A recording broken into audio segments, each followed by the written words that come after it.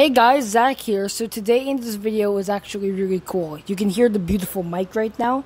It's my phone. Uh, it's actually my mom's. And today we're going to talk about something that's going to be a cool announcement. Today, I have made a Storyfire account. Uh, go follow me there. Uh, Zach the Saint. Go subscribe there.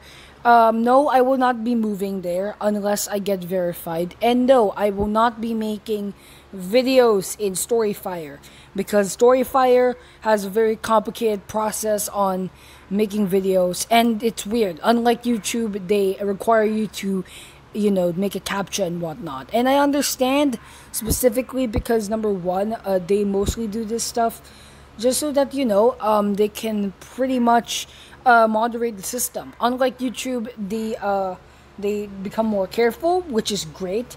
I mean, in YouTube, they had so many laws. that COPPA, you know, and get copyright strikes. No, they don't have it on Storyfire. So technically, if I wanted to make videos, I could. I could continue my wrestling figure videos if I really wanted to.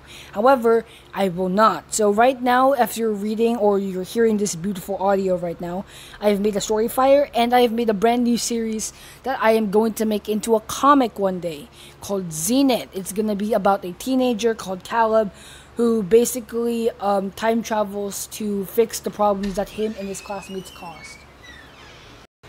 So yeah, that's pretty much it. So uh, I hope you guys can actually tune into my Storyfire, and I hope you guys will enjoy the stories I make there.